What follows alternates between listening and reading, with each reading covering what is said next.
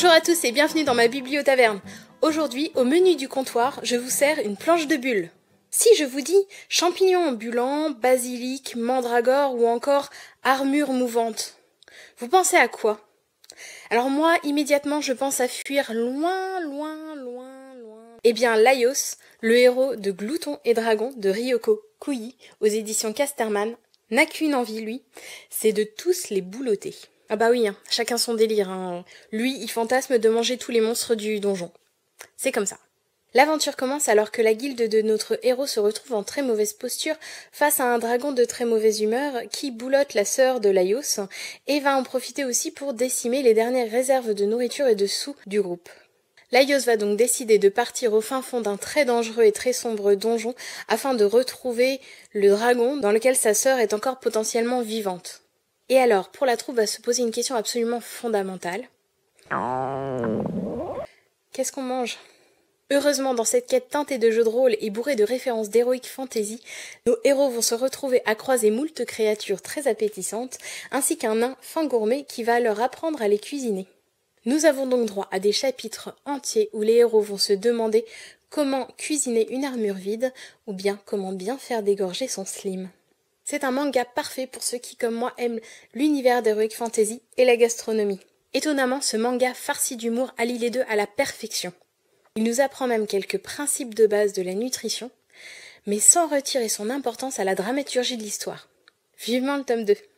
Un comics maintenant, et c'est probablement mon plus gros coup de cœur de ce début d'année 2017. Il s'agit de Face, de Jodie Hauser, Francis Portella et Marguerite Sauvage. Il est édité pour sa version française chez Bliss Comics et aux États-Unis chez Valiant. Face est une super-héroïne psiotique qui officie sous le nom de Zephyr et faisait partie d'un groupe qui s'appelait les Renégats qui luttait contre le crime. Mais suite à une rupture amoureuse et à quelques déceptions professionnelles, car oui, super-héros c'est un métier, on la retrouve au début du comics en pleine déprime post-rupture. Elle essaye maintenant de mener une vie en solo. Heureusement pour elle, Face a toujours quelques acolytes qui sont prêts à lui donner main forte dans sa lutte contre le mal, donc quand elle entend parler de jeunes psiotiques qui se font enlever, elle ne va pas hésiter une seule seconde à voler à leur secours. Avec comme espoir secret de tomber sur un beau gosse au passage. Mais bien sûr, c'est pas du tout pour ça qu'elle fait ça. Non, non, non, non, c'est pas amour de la justice et uniquement. C'est pas du tout pour pécho, me faites pas dire ce que j'ai pas dit. Outre le fait que Face ne correspond pas aux stéréotypes des super-héroïnes qu'on a l'habitude de voir et que les, auteurs euh, ne ressentent pas le besoin de se justifier sur ce point, ce qui déjà fait un bien mais incroyable, Face est avant tout une jeune femme très très attachante et rafraîchissante. Elle prend son boulot de super-héroïne très à cœur et c'est une jeune femme geek comme les autres. Ensuite, j'ai trouvé que le fait qu'elle dise que sa vie secrète, c'est sa vie normale, hyper intéressante. En effet, pour Face, sa vraie vie, c'est sa vie de super-héroïne. C'est là où elle a son vrai nom, sa vraie identité. Alors que pour aller travailler, pour mener une vie normale, c'est là qu'elle se travestit, c'est là qu'elle se déguise et c'est là qu'elle prend un pseudo. A contrario de Clark Kent et Peter Parker, par exemple, qui eux officient dans la vraie vie avec leur vrai nom. Et ça, j'ai trouvé ça super intéressant. Et ça nous pose vraiment la question de notre identité. Parce que vous, c'est laquelle votre identité secrète et votre véritable identité?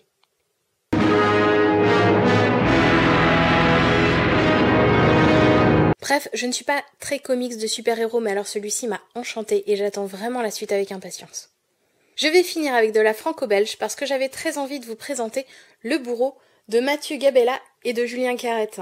C'est aux éditions Delcourt. Alors c'est pas vraiment une nouveauté, euh, puisque le tome 1 est sorti l'année dernière, mais par contre le tome 2 vient tout juste de paraître. Pour éviter tous les spoilers, je vais, je vais me contenter de vous présenter un petit peu le tome 1. J'ai découvert cette euh, bande dessinée parce que Julien Carrette était invité au Médiéval de Bayeux l'année dernière et grâce à la médiathèque, j'ai pu emprunter la BD avant et prévoir le coup et donc rencontrer euh, le dessinateur.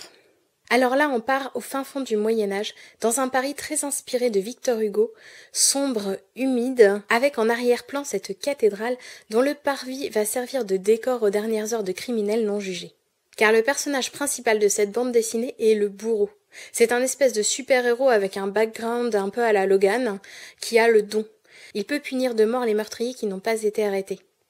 Il lui suffit de faire un espèce de rituel qui les fait venir à minuit sans faute sur le parvis de la cathédrale où il peut les exécuter.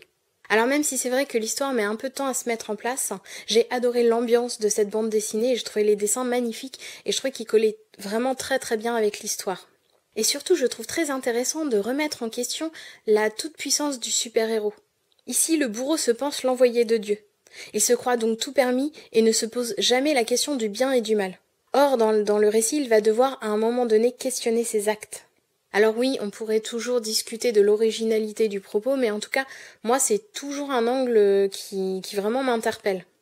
Voilà, c'est tout pour aujourd'hui. J'espère que ça vous a plu. Et vous, c'est quoi vos coups de cœur BD de ce début d'année? Et les BD que je vous ai présentés là, vous les avez lus? Qu'est-ce que vous en avez pensé? Laissez-moi tout ça en commentaire ou alors venez me rejoindre sur les réseaux sociaux. Je serai ravie et surtout je suis très très curieuse d'avoir vos commentaires, de savoir ce que vous en pensez.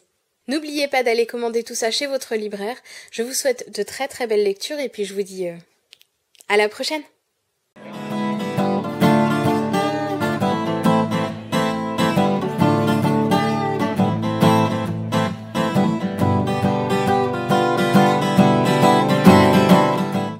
S'agit de Face de Jodie Hauser, Francis Portela, Margaret Sausage. Sauvage Sausage Marguerite Sausage.